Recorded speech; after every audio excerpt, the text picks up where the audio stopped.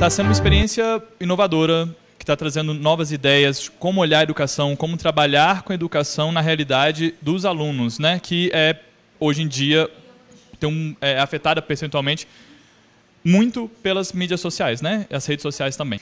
Ah, foi super legal e tal. Eu aprendi bastante, porque como eu quero ser professora, eu meio que ganhei, é, não, não ganhei, mas tipo, entendi alguns passos que eu tenho que tomar para realmente ser uma boa profissional, sabe? A gente é, falou sobre alguns projetos, uns microprojetos que, que começam a rolar aí no Brasil todo, que realmente mudam a sociedade.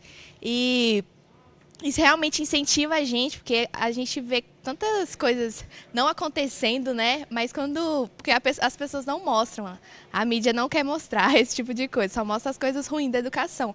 Mas tem gente se movendo e isso é importante, né? Para dar um, uma motivada assim na né, gente. E vamos, vamos lá que mudar esse mundo com a educação.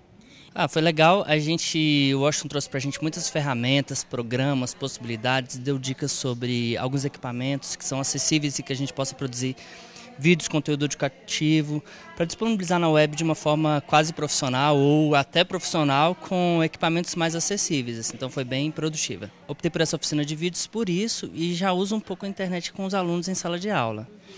Em sala de aula menos, porque a internet a gente não tem na escola, mas eles usam em casa, a gente trabalha já com sala virtual, com academia Khan, algumas coisas.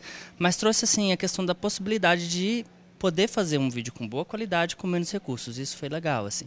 E uma experiência de uma pessoa que está produzindo vídeo já faz um tempo, então isso trouxe a experiência que ele já acumulou no programa que eles fazem. Isso vai contribuir muito para a gente chegar mais rápido de uma qualidade bacana. Então, nesse sentido, foi bem bastante interessante. Eu, eu já sempre gostei de, de trabalhar com sucata, é, trabalhar com material diferente, reciclável, né, principalmente. Então, a, a Gisele ela traz uma, uma proposta muito boa, não só para a sala de aula, mas para o dia a dia, para o nosso cotidiano. É interessantíssimo, porque as pessoas estão muito acostumadas a, a comprar tudo. Estragou, joga fora. Então, é uma maneira que a gente vê de uh, pegar aquilo que você já tem e, e dar uma, uma, nova visão para ela, né? Re, reconsiderar, vamos dizer assim. Bom, eu aplico sempre. Já tem muitos anos que eu trabalho com os meus alunos. Eu sou, eu não sou adepta ao, ao isopor, por exemplo, né? Quando eu trabalho com maquetes, por exemplo, os meninos é, sempre perguntam: "Não tem isopor, né, professora?" Eu, falei, não, eu falo: "Não. Tem. Você pode usar todo e qualquer tipo de material que possa ser reciclado, de, até mesmo depois desse trabalho." Então a gente traz a proposta porque os meninos hoje estão muito acostumados com a tecnologia da informação mas não com a tecnologia do fazer mesmo, né? com, a, com, a, com botar a mão na massa, vamos dizer assim. Né? Então, por isso que é muito interessante e é o que eu gosto de fazer também. Eu acredito que, com o conhecimento que eu estou adquirindo aqui, vai me tornar um professor mais próximo do aluno, que entende melhor a realidade dele e que se comunica melhor dentro dessa realidade. Né? O que eu estou tentando trazer é esse aprendizado, como é, me aproximar do meu aluno no meio dele, na forma dele se expressar, se comunicar, estudar. Então, estou tentando fazer essa aproximação. Ah, com certeza, né? A gente. Todo conhecimento é válido, né? Eu sempre penso isso.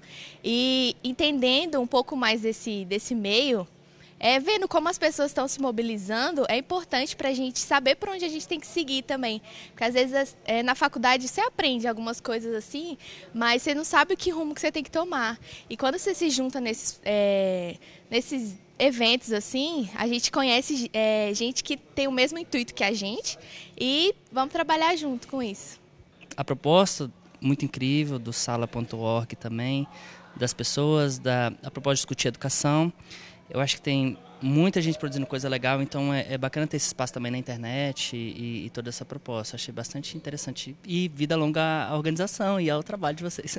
Importantíssimo para que a gente possa até mesmo reciclar. Né?